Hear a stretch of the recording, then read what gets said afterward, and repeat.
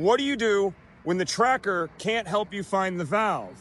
And why wouldn't the tracker help you find the valve? Isn't that what it's for? I'm going to answer those questions today.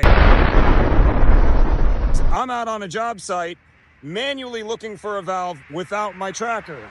Not because I don't have it, because it's definitely back there in my truck, because I've already used my tracker to track the common wire, which is the only wire I know of that goes to this valve. Why is that? Because this valve hasn't operated since we took on the property. Now that it kicked on all by itself, we've got to find it. And we don't know what zone number it is because it doesn't turn on from the controller. So we can't hook our tracker up to the zone wire to track it to the valve.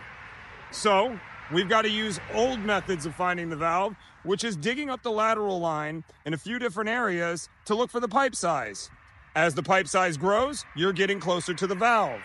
If you know the size of the valves on the property, then you'll know what size pipe you're looking for. In this case, these are two inch valves, and this is a two and a half inch lateral line that it's controlling. So I am trying to look for a two and a half inch lateral line. The only problem is, is everywhere I dug in this zone, and you can see it behind me, it goes all the way down this sidewalk. I exposed one inch pipe everywhere.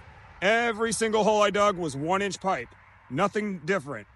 So that led me to believe that the entire zone was run in one inch pipe. Let me show you.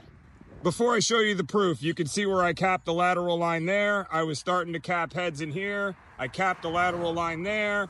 And then I capped it down there in a couple of spots and I worked my way over to here until I got to this spot. That is a two and a half inch T with one inch on either side of it going out to feed this whole zone. So no, I'm not crazy. They did run the whole damn zone in one inch pipe and that's why it took me forever to find this damn T. Now that I found it, the valve is going to be somewhere in front of me right here. I wonder if he ever found that valve.